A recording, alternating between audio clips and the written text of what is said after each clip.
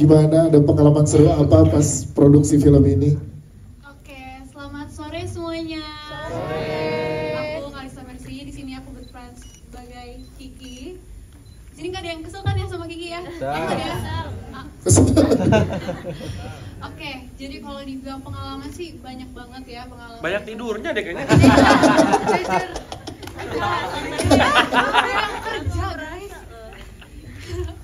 pengalaman sama teman-teman tuh pasti banyak banget, seru banget. Dan gitu juga kita juga dituntut untuk dekat juga sama teman sama teman-teman X. Terima kasih X. Silakan.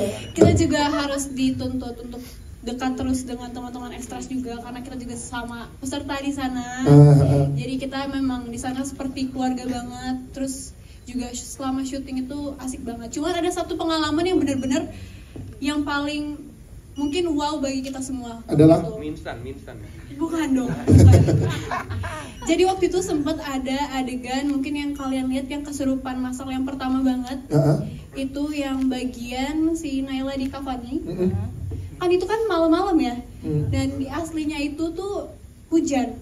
Oh, Dan oke. pas kita proses syuting hujan beneran. Wow. Jadi mengikut sama kejadian yang aslinya. Nah, pas hujan turun, kita mencoba untuk oke, kita stop dulu, kita istirahat dulu, kita tunggu hujannya reda. Karena nggak mungkin kalau misalnya hujan kita lanjut syuting. Iya.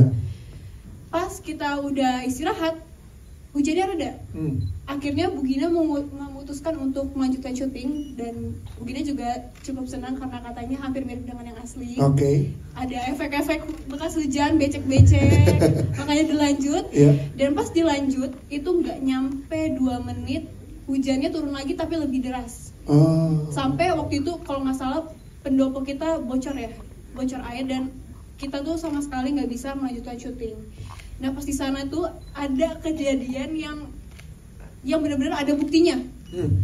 Jadi kita di sana tuh foto pakai jas hujan dan lain sebagainya dan pas kita lihat kembali fotonya dan kita zoom ternyata ada satu cowok pakai kain jarik. Nah kalau kalian lihat tadi kan ada sosok yang pakai kain jarik kan Iya, yang prajurit iya. ya. Uh-uh. Nah ternyata pas di sana pas kita tanya ke wardrobe dan yang lain sebagainya, wah eh, ekstras-ekstras yang jadi prajurit udah pulang semua, udah ada pakai jarik dan di situ mukanya tuh em, ada cahayanya di situ.